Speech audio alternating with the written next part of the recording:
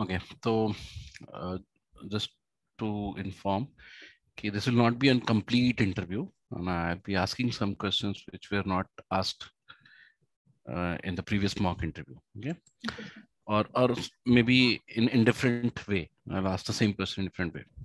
Okay, so the first question for you, Rakshita, is uh, like. Um, what are your learning goals? What are your learning goals for the next two years?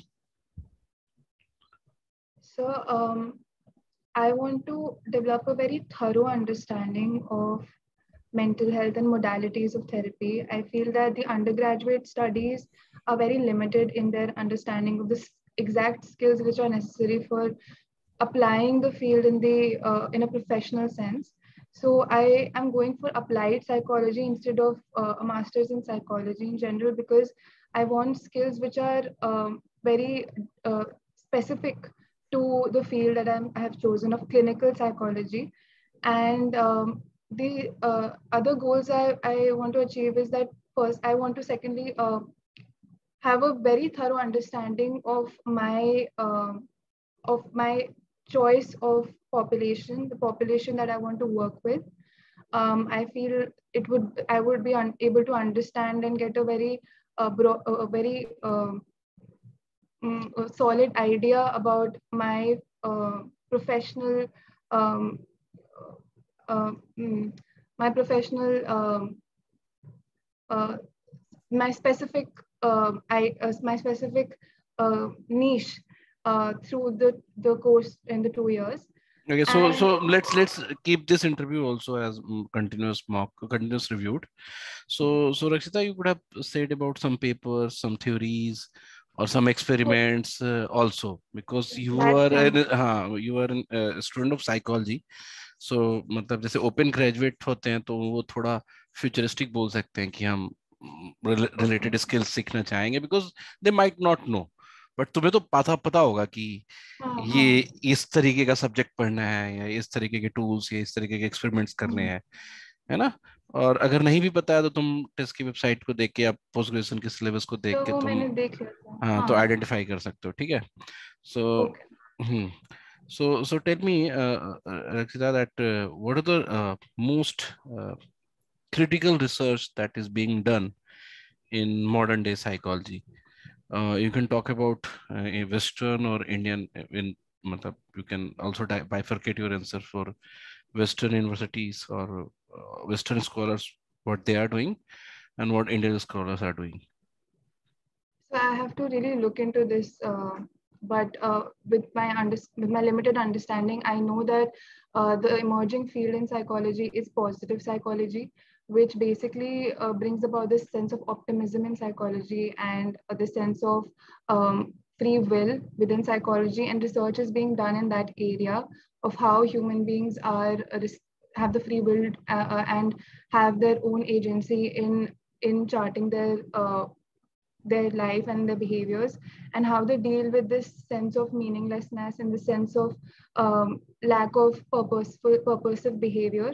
So i think that is a field of psychology positive psychology where there's a lot of research is being done. Uh, apart from that, uh, from a very uh, from my limited understanding, I feel that COVID is a very relevant uh, subject at the moment. How uh, for example how hypochondriasis which is a disorder that deals with illness anxiety that is something that has been uh, that has been playing out during covid how people are anxious about their health.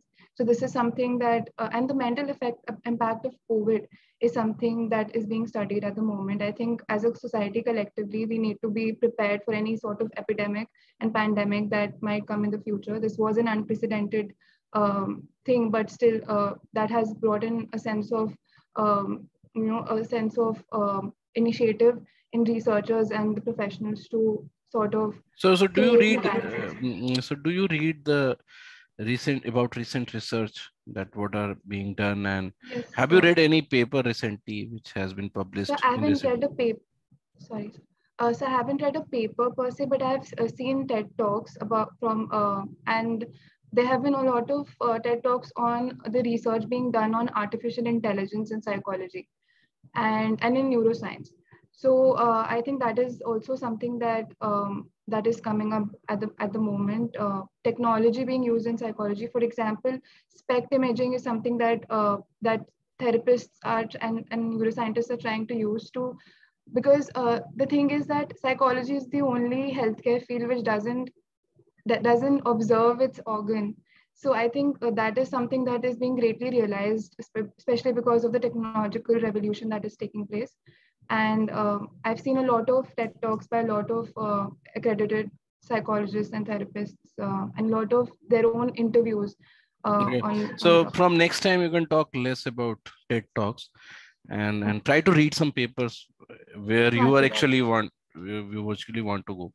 Matlab, you could have said that uh, I don't know what are the research, all the research being done, but in my interest areas, you know, these research are being done or ऐसा एक paper मैंने पढ़ा है, है ना? ठीक है Okay. So, so uh, what do you want to do after this course, Chitaman? Like, what are the career goals that you have? So um, I want to be a clinical psychologist and I want to have my own practice. So after my master's, I will uh, do my MPhil. And um, apart from that, I still, I mean, I don't, since I'm just an undergraduate, I don't have a very solid idea, but I would want to innovate in the field in some way or the other. I feel that uh, since in India, there is a wave of entrepreneurship and innovation, and for mental health to become a mainstream field, we need people to think out of the box too. So, uh, of course, I would want to work, work in the clinical setting, but um, I think I, I would also like to innovate in some manner um, in the field. Okay. So, so what are the what are your uh, readings? Like, like what reading habit do you have? You do you just read your textbooks, or do you also read outside your curriculum? Uh, I like to read about psychology outside my curriculum whenever and if I get the time. Um, So, tell me about my- few books that you have read apart from your uh, course book or textbooks. well, my books, the novels that I've read haven't been directly related to psychology per se, but for example, uh, there, there's a book uh, called The 40 Rules of Love by Elif Shafak. And I mean, psychology is such a pervasive field. I feel that um, any sort of uh, story in any sort of novel you read has an implication there.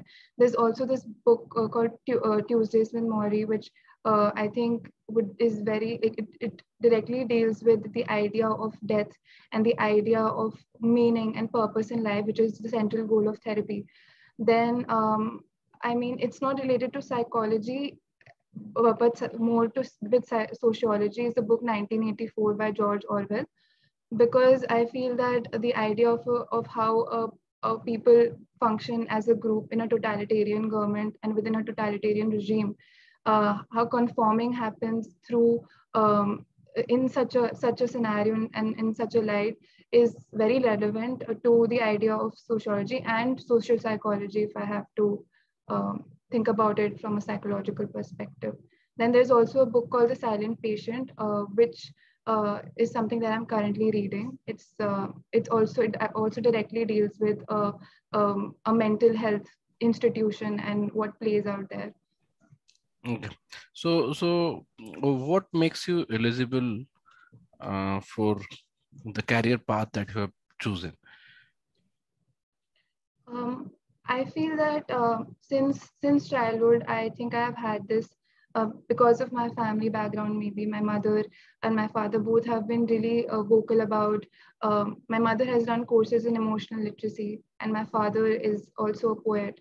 So uh, I mean, these the- these sort of uh, and this sort of exposure to the the idea of um of emotionality and sensitivity has really um, affected me and has i think charted a course uh, for me to connect with the field in a very organic manner. And i feel that my uh, my uh, extracurriculars have really helped me define define me as a person.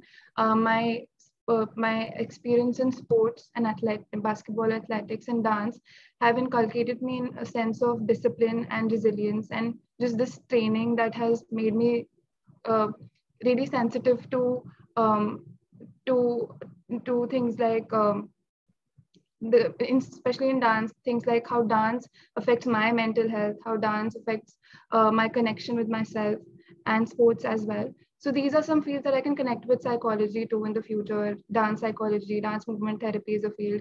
Then sports psychology Okay. is So, so Rakshita, the next question for you is like, um, uh, consider mm, a type of population that I'm talking about, like, uh, what do we say, strata. So, try to visualize a particular segment which is uh, women uh, with uh, um, under age within the age group of 15 to 30, you know, uh, urban middle class, not married. Okay. So, so just consider these age group women and tell me what kind of stress and uh, distress situations they are prone to.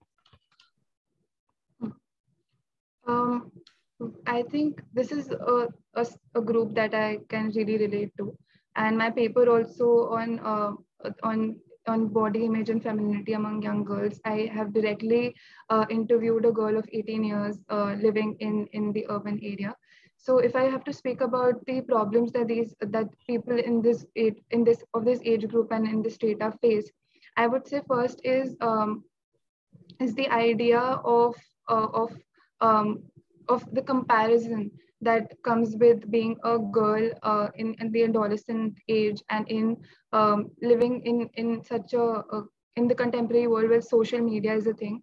Um, I frequently see people uh, people indulging in uh, in in this in these attitudes of uh, of of aspiring to look a, a certain way, a perfect idea, an ideal self that uh, that girls uh, create in their minds, which are too uh, far fetched. And in in that time, since they're not able to reach that idea, it it takes a toll on their mental health. They might they, there is uh, an evidence and study of how body uh, of eating disorders uh, are manifest themselves in this age group, how body dysmorphia uh, plays out in this age group. So that is one I feel a major issue for girls, especially in, in this very impressionable age. Um, then I, I think that uh, the other issue would be how to see themselves as a as a female within this patriarchal society. It is the time when an adolescent is understanding their identity, forming themselves, forming how they relate to the world and how others see them. So uh, this is the time where you you feel secure or your feeling of security and your strong sense of self plays out in the future. So that is something that I see. There is lack of safety. There is lack of uh, awareness um, amongst the other uh, others also around the uh, society on how to treat women and how to treat girls and it is one of their first experiences start coming up at this age when they start grow growing and becoming a woman that they actually uh, deal with issues like um, issues like constant staring and name calling so that is something that really acts as a stressor in their in their lives Okay, so uh, uh, let's finish this interview right, right now. And so, eight minute.